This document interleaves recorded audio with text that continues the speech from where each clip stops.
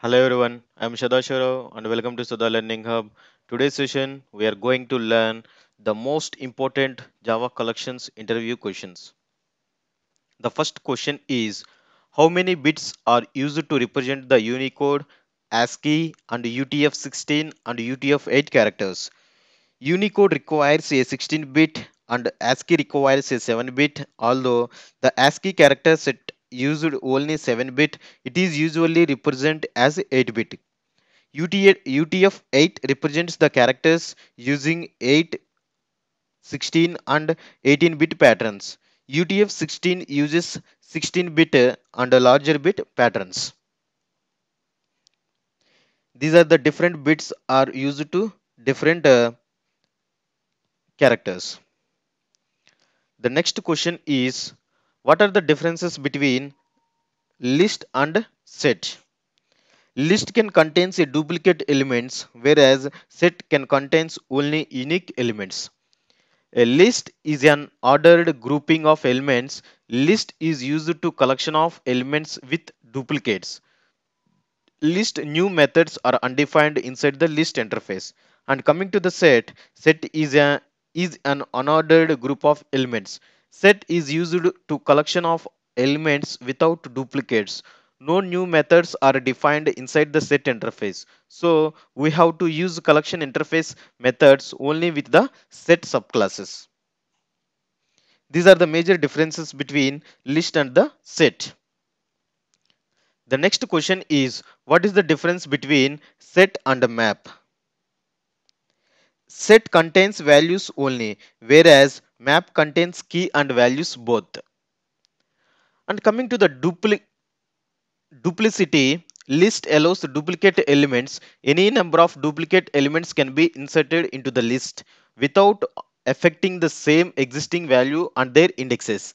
Set doesn't allows the duplicate and set and all of these classes which implements set interface should have unique elements and set contains the values only whereas set contains only values and whereas map contains key and value pairs formats. The next question is what is the difference between hash set and hash map? Hash set contains only values whereas hash map contains entry means key and value pairs. Hash set can be iterated but hash map need to convert into set to be iterated. Hash map is a implementation of map interface and hash set is a implementation of set interface. Hash map stores a data in the form of key value pairs. Hash set stores only objects. Put method is used to add the elements into the hash map and add method is used to add the elements into the hash set. In hash map, hash code value is calculated using the key objects. In the hash set, here member objects is used for calculating the hash code value which can be the same for two objects. So equal method is used to check for equality if returns false that means two objects are different. Hash map is faster than hash set because unique key is used to access the objects. Hash set is slower than the hash map. These are the major differences between hash map and hash set. The next question is what is the difference between hash map and a tree map? A hash map maintains a no order but tree map maintains ascending order. A hash map doesn't maintain any order but in a tree map elements are sorted according to the natural order. Hash map is internally implemented on principle of hashing. TreeMap is implemented internally by using red black tree implementation. HashMap can store one null key. TreeMap cannot store null keys. HashMap provide order of one performance for get and put methods. TreeMap provides log of n time for get and put method methods. These are the major differences between hash map and tree map. The next question is what is the difference between comparable and comparator? Comparable provides only one sorting of the sequence. comparator provides multiple sort of the sequences. It provides one method name compare to method. It provides one method name compare method.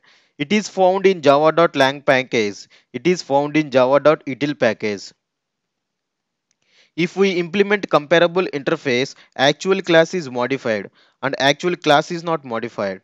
If you implement comparable interface, actual class is modified. If we implement the comparator interface, actual class is not modified.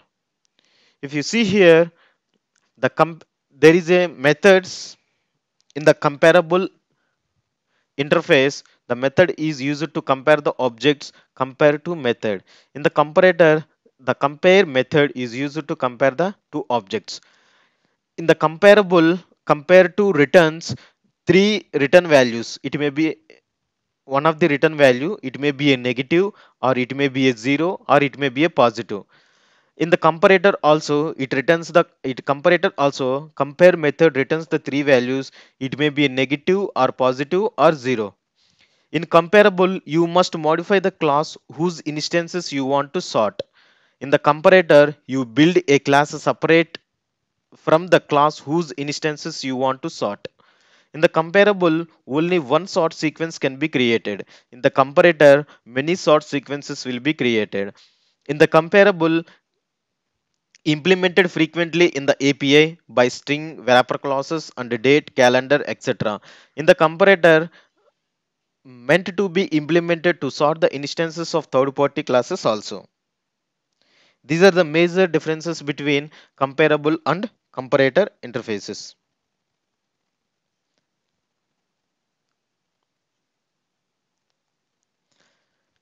The next question is, what is the main implementations of set interface? The main implementations of the set interface as follows. There are hash set, tree set, linked hash set, and enum set. The set implementations are hash set, linked hash set, enum set, tree set, set, and a navigatable set.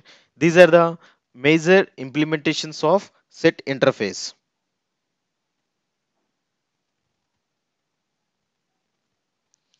The next question is what is the importance of static variable? The static variable are a class level variables where all objects of the class refers to the same variable. If one object changed the value of then the change gets reflected to all the objects.